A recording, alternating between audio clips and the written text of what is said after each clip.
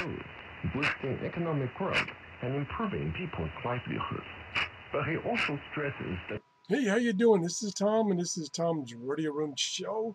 I'm out in my workshop, and I got my setup with my newer computer and the latest version of SDR Uno connected to my RSP Duo, which now has two antennas connected to it.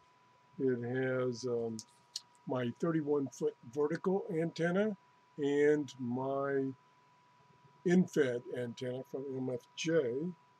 And on tuner 1 is the 31 foot vertical, which is what I'm connected to right now. And on tuner 2 is the end-fed. And I had turned on um, the diversity option that takes the two antennas and the two receivers and tries to combine them to give the best signal to noise ratio. And I'm tuned to 9.570, which should be China radio coming out of the Middle East. I think it's Albania or someplace in the Middle East. Um, and that's what you were listening to, and it's coming through pretty good.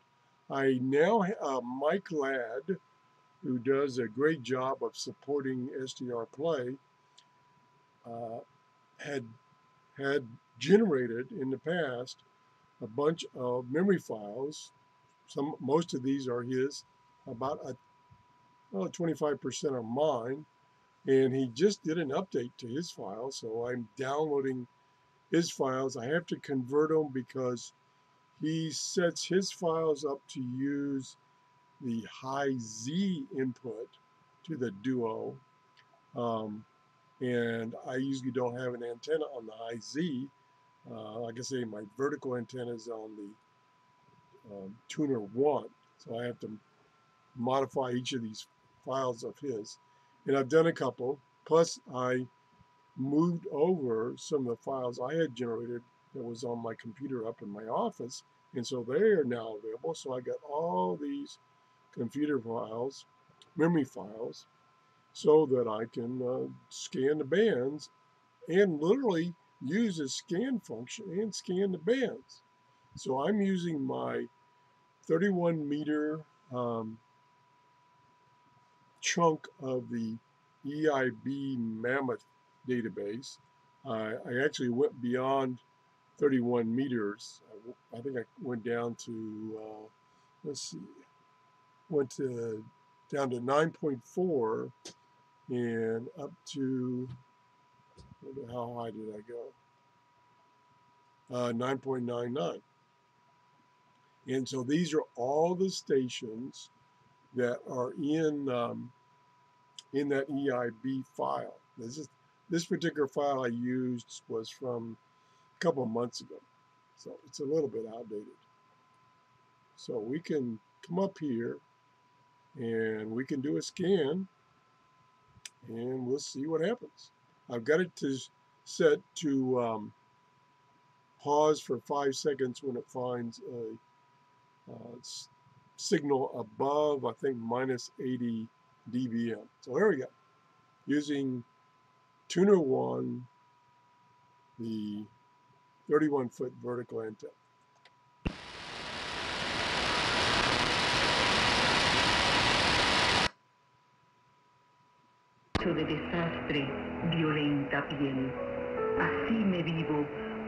Desde la vida cotidianas muertes y en ajena presencia de...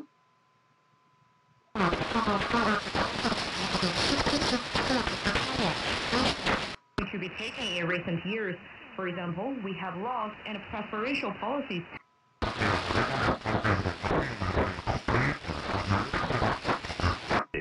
Posteriormente inició su carrera en la función pública y ha sido delegado de Estados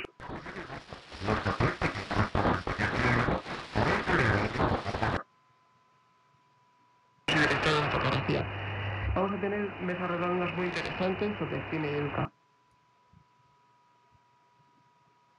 You can see it scans quite rapidly. Yeah, that's music, so let's stop there.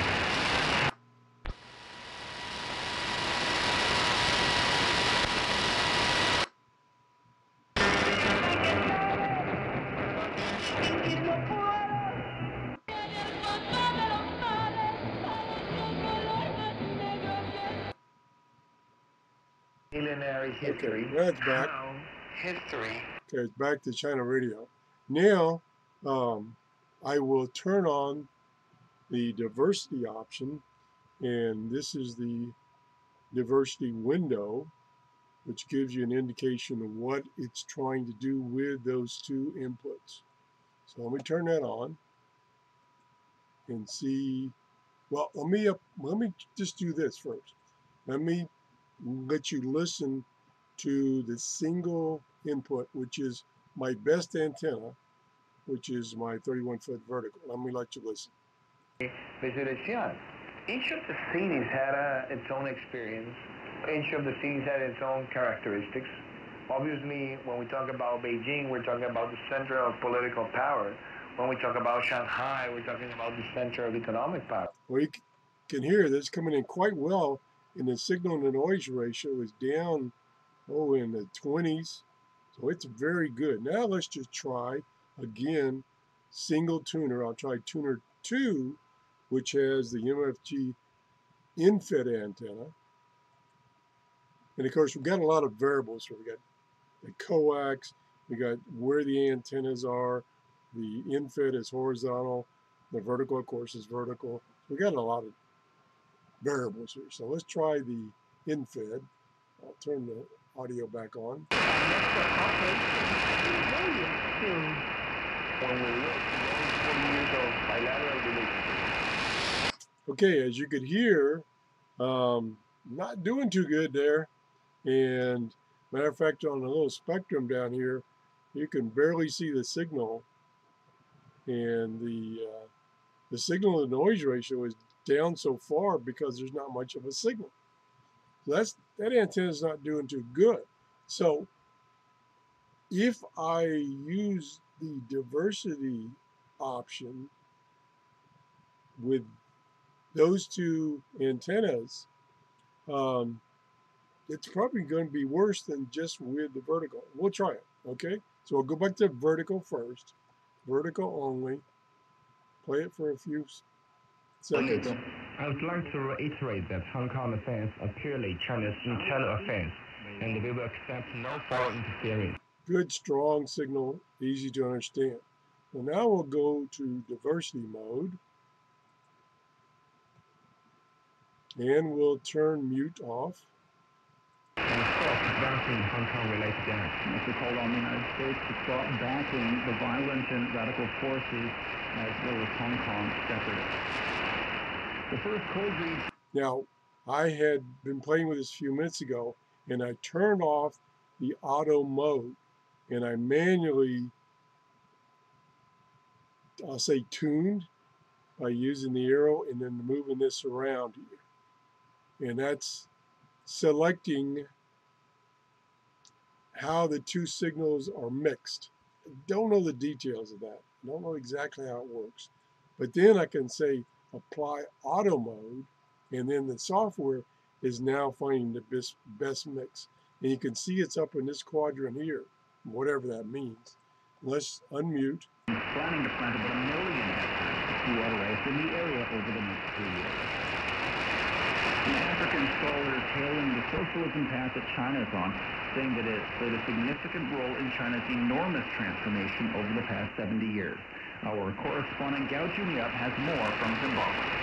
I'm 32 and I joined the Liberation Struggle. Okay, you can see that it's struggling, and it's probably struggling because that input from the end-fed antenna is not a very good signal, and it's actually corrupting the other one. So it's not helping, it's corrupting. Again, this is not even close to the ideal configuration that you should have when trying to use this diversity mode. Um, I believe, and I and I I don't have any detailed information to tell me. I'm just kind of speculating here. Is I think you want two similar antennas that are um, a half wave or a quarter wave apart, and then maybe one's vertical, one's horizontal. I'm not sure exactly what the physical configuration which would be best to use this option. I just don't know. I just took two of my antennas, hooked them up. And like I say, there's lots of variables. Uh, the horizontal antenna is pointing northwest, which means the signals would come in perpendicular to that, which means it would come in from the southwest. No, yes, southwest. So since this is coming probably from the Middle East, that's probably good good position. Now the vertical antenna, of course, is much higher. The horizontal antenna is only about 15 feet in the air. Tip of the vertical is 31 feet. So that's a difference. So I don't know if using the diversity mode for this antenna setup is really going to help much with this with this particular signal. Now maybe another signal, a different frequency, it would work better. The end-fed antenna is tuned for 40 meters, which we're not close to 40 meters. Um, the vertical is also tuned to 40 meters. Yes, I believe it's also tuned to 40 meters. So they're both tuned to 40 meters. I'm not on 40 meters. So I'm gonna, I'm gonna go back and forth a little more. I'll, I won't talk. I'll just let you listen and watch for the next few minutes. Here we go. Diversity Month. But in fact, China has admitted that the answers change every generation because they've been changing. And what they're doing now is switching from 1950 1960. So uh, they understand that uh, development is dynamic. Was he alright? Okay, you can see in this auto mode, it's trying to find the best match. I think it's trying to find the combination of those two signal signals which give you the lowest signal to noise ratio. Now, let me try it manually. So it's over in this area here. It's where it wants to be. So I'm going to turn the audio back on and then I'm going to turn this auto off and then change it manually away around the whole uh, circle. Okay, here we go. Mute. Unmute. The figure was at 3.6% in 2018, James Boone, the chief economist of the organization. So first, um, the slowly, and we will next period it is becoming entrenched at low level. All the leads in data are biased to the downside. Trade, it's Brexit, it's financial market, it could be a crisis. The OECD also painted a grim outlook about the advanced and emerging economies. It says that escalating trade conflicts are taking an increasing toll on confidence and investment. In a bid to end the gloom, the OECD recommended greater structural reform ambition to help offset the impact of the negative supply shock from rising restrictions on trade and cross-border investment. The U.S. Federal Reserve has cut interest rates by a quarter percentage point for the second time since July. Fed officials also left the door open for another cut uh, this year if the economy weakens further. Okay, I'll go back to auto. Let it decide what to do. Fed Chairman Jerome Powell pledged that policymakers will do whatever it takes to prevent a recession. More on I spoke with Dr. Yao Shijie, Hong Kong Professor of Economics at Chongqing University. Impact of this latest probably going to the steady economic growth in the United States. Well, that's good. Okay, it looks like the length of this pointer, I'll call it. Uh, no, it's not. I'm trying to figure out. I noticed the length was changing, and I thought it would. Okay, I think it is. Okay, I think it's the reverse. I think the longer it is, the lower the signal to noise ratio. So when the signal to noise ratio goes up, I think it shortens down. I think. I'm guessing here. and maybe Mike can, Mike Ladd can correct me. So now let's go to a different signal. Let's, matter of fact, let's go to a different band. Um, let's go to the 49 meter band. So I'll select that database and I'll scan.